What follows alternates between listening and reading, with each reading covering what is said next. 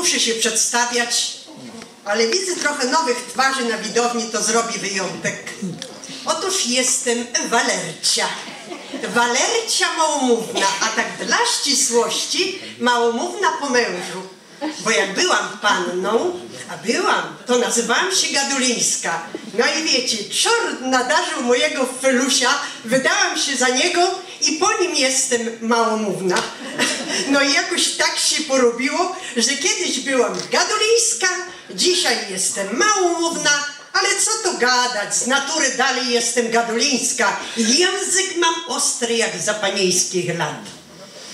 Ze swoim felusiem żyję już ponad 30 lat i czasami zastanawiam się nad tym, że on tak długo ze mną wytrzymał.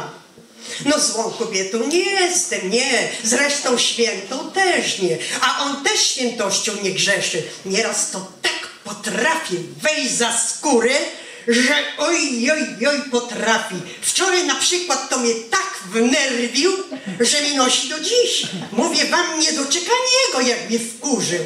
A było to gdzieś koło południa.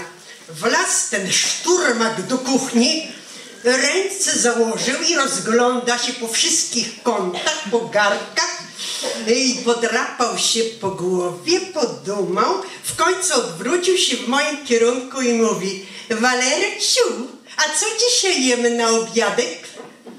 Mówię wam, jaki mnie nerw porwał. Miałam mu powiedzieć gówno, ale się zdenerwowałam.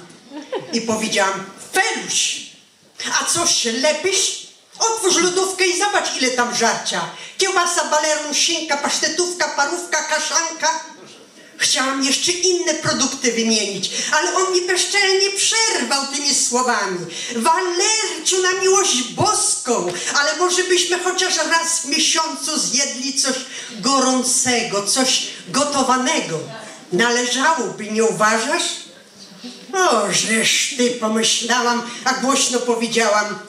Feluś, nie przesadzaj, nie przesadzaj, gorące strawy też jadamy. Widzę, że skleroza całkowicie opanowała twój organizm. Dla przykładu przypomnę ci. Tydzień temu była kiełbasa z grilla, cztery dni temu kiełbasa z wody, trzy dni temu parówka z wody, dwa dni temu odsmażana kaszanka, a wczoraj odsmażany boczuś.